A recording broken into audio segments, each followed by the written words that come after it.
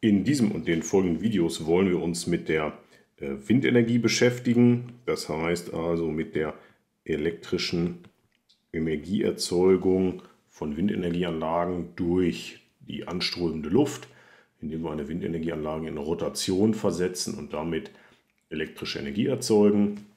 Dazu geht es natürlich zunächst einmal um die physikalischen Grundlagen, die wir uns erarbeiten wollen.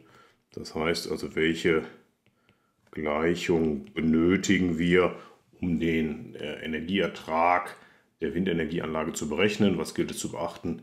Ähm, wie verhält sich die Windgeschwindigkeit? Ähm, was muss man dort berücksichtigen? Das werden wir uns ähm, ansehen. Ein weiterer Aspekt sind natürlich die umweltrechtlichen Bedingungen, die wir berücksichtigen wollen. Also, das sind die Emissionen, ähm, die eine Windanlage verursacht. Dazu zählt insbesondere die, ähm, sind es die Lärmemissionen oder Schallemissionen, die eine Windenergieanlage im Betrieb äh, verursacht. Wir werden uns mit dem Naturschutz äh, auseinandersetzen, insbesondere in Bezug auf äh, den Vogelschutz und Fledermausschutz, was es dort für ähm, umweltrechtliche Vorgaben gibt. Ähm, der Schattenwurf ist ein weiterer Aspekt, der zu berücksichtigen ist bei einer Windenergieanlage. Ähm, das wollen wir uns auch noch ansehen. Und der dritte Aspekt ist dann äh, das Potenzial oder die Zukunft der Windenergie in Deutschland, Europa, weltweit. Also kann die Windenergie einen wesentlichen Beitrag zur Energiewende leisten? Wie lässt sich die Windenergie integrieren in moderne Energiesysteme? Ähm, wie sieht es mit, der, ähm, mit den Kosten aus für den Strom aus Windenergieanlagen? Das sind Aspekte, die wir uns dann im dritten Teil dieser Reihe zur Windenergie einmal ansehen wollen. Grundsätzlich geht es ja um die Frage, wenn wir jetzt eine Windenergieanlage haben, die wir an Land, also onshore oder auf dem Meer, sogenannte Offshore-Anlagen installieren, wie lässt sich der Energieertrag berechnen? Also wir haben die Windenergieanlage, die auf einem Turm steht, wir haben den Generator, das gucken wir uns dann im späteren Verlauf noch genauer an. Wir haben dann hier vorne die äh, Rotorflügel, das sind in der Regel sind das drei Rotorflügel und jetzt strömt hier mit einer Geschwindigkeit V der Wind an. Dann stellt sich die Frage, wie groß ist die Leistung P, die die Windenergieanlage erzeugt, wie groß sind die Verluste, um dann daraus den Energieertrag zu berechnen. Wie lässt sich die Windgeschwindigkeit ermitteln, die anströmt? ähm, bei Messungen auf Narbenhöhe, das heißt also hier diese Höhe, das ist ja die Narbenhöhe H. Narbenhöhe, die Windgeschwindigkeit ist äh, nicht direkt bekannt, äh, die muss gemessen werden. Ähm, das heißt also bei der Planung einer Windenergieanlage ist äh, zu prüfen, wie lässt sich diese Windgeschwindigkeit V ermitteln. Ähm, bei einer Höhe, diese Windanlage, die moderne Windanlage, hat eine Höhe von 120, 130, 140 Meter mittlerweile mit entsprechenden Rotorflügellängen, ähm, sodass also daraus sich dann der Energieertrag ermitteln lässt. Aber die entscheidende Frage ist, wie lässt sich die Windgeschwindigkeit ermitteln? Vor allen Dingen, wenn es Objekte gibt in der Umgebung, die äh, zu äh, Turbulenzen führen kann. Das können jetzt also äh, Bäume oder Wälder sein äh, das können Hügel sein, die in der Nähe stehen, die also dann dazu führen, dass die Windenergieanlage nicht ungestört ähm, vom Wind angeströmt werden kann. Auf dem Meer ist das relativ einfach, da haben wir keine störenden Objekte. An Land kann das natürlich dann dazu führen, dass die Windenergie äh, oder die Geschwindigkeit des anströmenden Windes reduziert wird und das natürlich dann Auswirkungen darauf hat, wie groß der Energieertrag der Windenergieanlage ist. Bei der umweltrechtlichen Betrachtung geht es darum, einmal, wie, sieht es mit den Schallemissionen aus, das heißt durch den Betrieb ähm, der Windturbine, durch die Rotation, durch, die, durch das Getriebe entstehen Schallemissionen, insbesondere dann, wenn die Rotorflügel auch hier an dem Turm vorbei äh, sich bewegen. Da gibt es so ein, ja, Geräusch, so ein Flappgeräusch.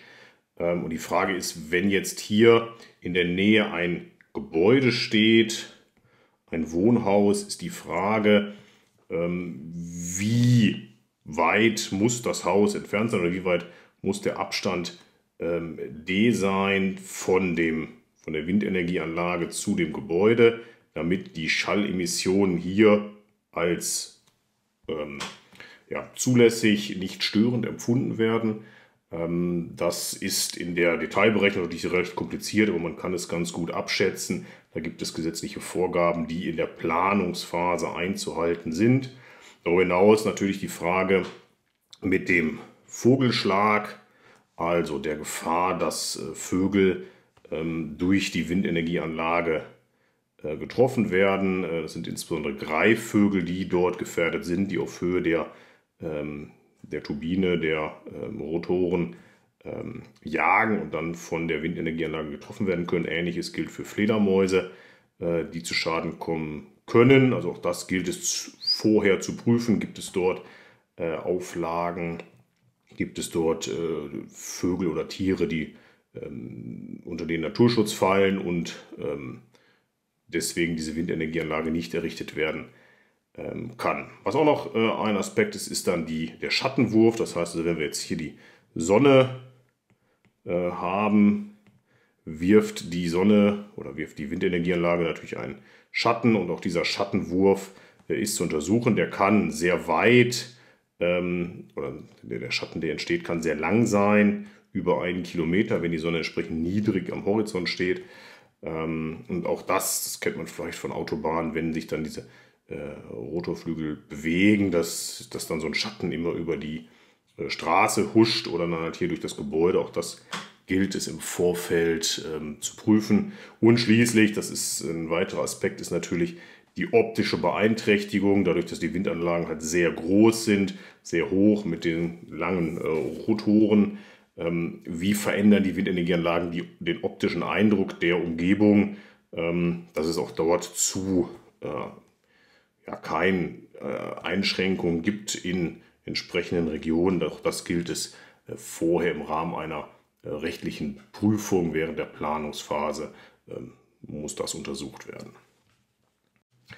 Im dritten Teil dieser Folgen zur Windenergie wollen wir uns mit dem Potenzial der Windenergie beschäftigen. Das heißt also, welche Leistung, welche Energie können wir erwarten von äh, Windenergieanlagen, wie viel Windenergie brauchen wir in Deutschland, in Europa, äh, weltweit, um unsere ähm, Ausbauziele zu erreichen, äh, im Sinne des Klimaschutzes, um die fossilen Kraftwerke zu ersetzen durch Windenergieanlagen, dass wir also hier emissionsfrei elektrische Energie erzeugen. Ähm, und natürlich die Frage, was kostet der Strom aus dieser Windenergieanlage? Auch das lässt sich berechnen, ähm, dass man feststellt, dass der Strom aus Windenergieanlagen an Land und auf dem Meer mittlerweile sehr günstig ist, äh, günstiger als der Strom aus äh, neu errichteten Kohlekraftwerken oder auch Kernkraftwerken, sodass die Windenergie tatsächlich auch aus ökonomischer Sicht eine sehr attraktive Alternative ist, mit dem Nachteil oder der Herausforderung, natürlich, dass die Windenergieanlagen nur dann Strom produzieren, wenn auch der Wind weht.